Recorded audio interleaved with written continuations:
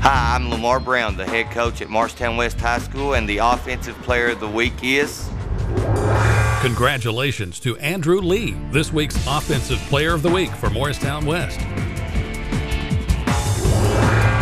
This Morristown West Player of the Week is brought to you by Tennessee Technology Center of Morristown.